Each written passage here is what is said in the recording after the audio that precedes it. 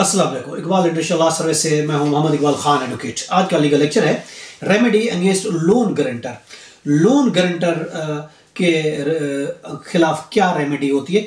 कोई अगर कर्ज लेता है और उसमें एक गारंटर होता है, वो गारंटी देता है कि भाई, अगर इसने पैसे नहीं दिए, अगर इसे लोन अदा नहीं किया तो मैं इसका लोन अदा करता हूँ।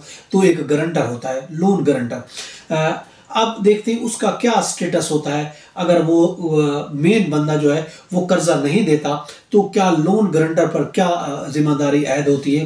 क्या लोन गारंटर से पैसे वसूल किए जा सकते हैं या नहीं किया जा सकते? तो वो कहाँ खड़ा है? उसका स्टेटस कहाँ है? गारंटर का गारंटी देने वाला। गारंटी देने वाला मौजूद है। लोन लेने वाला भाग गया। उसकी कोई प्रॉपर्टी नहीं शेयर छोड़ के भाग गया।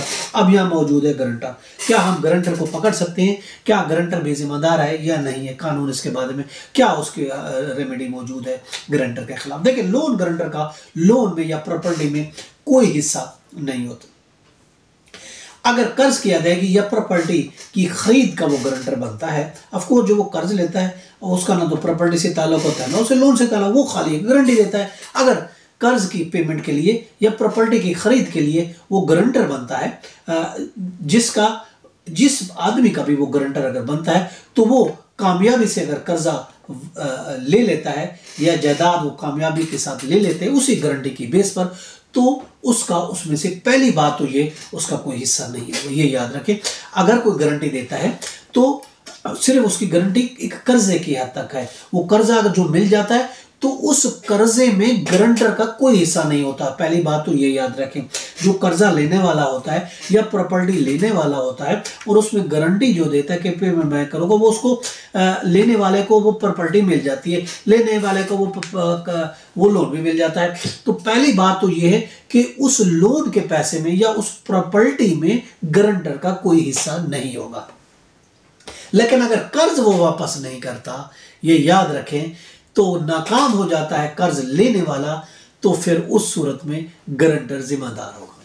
हालाँकि गारंटर ने तो पैसे भी नहीं लिए, हालाँकि गारंटर ने प्रॉपर्टी भी नहीं ली, हालाँकि गारंटर का उसमें कोई हिस्सा भी नहीं था, लेकिन फिर भी चूँकि उसने गारंटी दी है और पैसे लेने वाला, उधार लेने वाला भाग जाता है तो उस सूरत में फिर वो जिम्मेदार होगा। गारंटर की ये ज़िम्मेदारी है कि उसका कर्ज वापस कराए, बंदे को पकड़ के लाए, पेमेंट कराए। अगर वो नहीं करता तो फिर वो जिम्मेदार होगा, वो लायबल होगा कि आउटस्टैंडिंग अमाउंट क्यों ना उससे कर दी जाए। अगर वो नहीं करता तो ऑफकोर्स फिर उसके खिलाफ कार्रवाई भी हो सकती है, क्योंकि उसने गारंटी दी थी। अगरचे उसका, उस कर्ज से कोई ताल्लुक नहीं था, कोई वास्ता नहीं था, कोई रिश्ता नहीं था, कोई पैसे का लेन देन का, किसी किस्म का नहीं था, चूँकि वो गारंटर बना है, इसलिए उसकी ज़िम्मेदारी है। अगर हम इसके मीनिंग्स को देखते हैं गारंटर के मीनिंग को अगर देखते हैं ब्लैक लॉ डिक्शनरी में अगर हम इसके मानिंग देखते हैं गारंटर के, कहा गारंटर के मानिंग कहा गया कि एन एश्योरेंस दैट कंट्रैक्ट और legal act will be duly carried out वो एश्योरेंस होती है जो कि गारंटी कहा जाता है, जो कि कॉन्ट्रैक्ट या लीगल एक्ट में ड्यूली कैरिड आउट होगी, उसको कहा जाता है guarantor one who gives security for a dept is called guarantor guarantor वो जो होता है, जो कि कर्जे की सिक्योरिटी देता है, कर्जे की जमाना देता है कि ये कर्जा अगर इसने पे ना किया तो वो कर्जा मैं पे करूँगा, उसको कहा जाता है गारंटर अब इसकी गारंटी कैसे पैदा होती है? How the creation how it is create creation of the guarantee कैसे होती है? गारंटी किस तरीके से बनती है? गारंटर किस तरीके से बनता है? अगर हम देखते हैं उसके बनने के लिए अगर हम देखते हैं ट्राइपरेटराइट डीड बनता है द लीगल मॉडगेज का अपने एहसास और सिक्योरिटी मॉडगेज वो कर देता है। एक तो ये तरीकेकार है। दूसरा है deed of the assets of the debenture और तीसरा है सरेंडर ऑफ़ द शेयर है और तीसरा है पोस्ट डेट चेक है। ये तरीकेकार है, इन तरीकों में अगर कोई वो करता है तो उसकी गारंटी क्रिएट होती है क्रिएशन होती है। कि एक तो यह है कि ट्राई पार्टीटेट डीड बनाता है लीगल मार्गेज का। अपने असासा जो है, वो बतौर मार्डगेज करता है।